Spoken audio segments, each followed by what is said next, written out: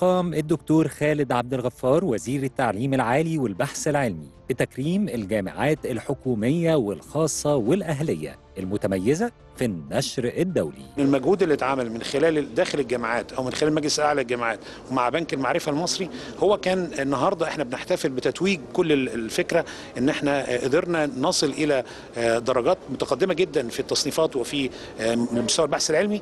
وإن شاء الله اللي جاي كمان بعد ما إحنا بنحط سياسات أخرى لما طالما وصلنا للمراكز المتقدمة نقدر إن إحنا نتقدم أكتر وأكتر. اذا هي منظومة كبيرة جدا.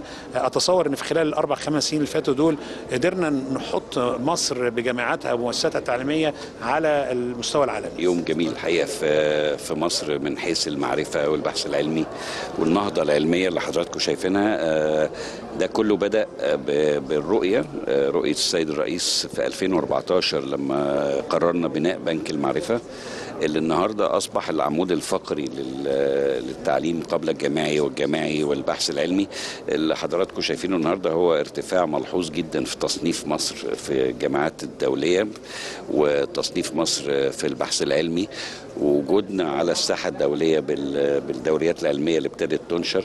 فيمكن الناس محتاجة تعرف إن بنك المعرفة ما هوش مجرد مكتبة هو في كل ما وصل إليه العلم. فده إنجاز الحقيقة يعني المفروض نفرح بيه جدا في أربع سنين. ده المنظومة اللي إحنا لجأنا ليها وعرضناها النهارده إن إحنا بنحسن ترتيبنا وترتيبنا ارتفع ل 30 بعد ما كنا 100 وحاجة وإن شاء الله هيرتفع أول. إحنا بقينا نمرة واحد في أفريقيا نمرة اتنين في الشرق الأوسط. وإن شاء الله لو مشينا بالوتيرة وهذه الوتيرة إحنا هنبقى واحد قريبا جدا في الشرق الأوسط.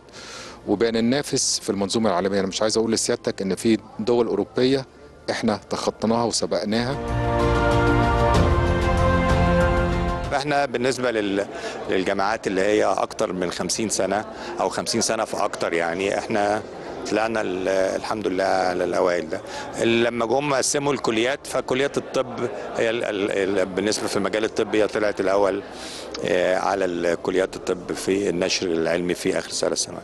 فده الحمد لله زي ما بقول لحضرتك كده ويعني إن شاء الله يستمر وده بالظبط كده يعني إحنا كلنا النهارده فزنا لأن كل الناس في كل الجامعات المفروض إن كل واحد دلوقتي هيتنافس عشان يخلي جامعته أحسن. فإن شاء الله ده بيعود بالمردود على على البلد ككل. البحث العلمي ده هو قاطرة التنمية والسبيل لوصول الدولة المصرية لتحقيق الاقتصاد المبني على المعرفة. فمش هيحصل اقتصاد مبني على المعرفة إلا إذا كان في بحث علمي قوي يقدر يمده بروافد التعليم والمعرفة لتحقيق التكنولوجيا.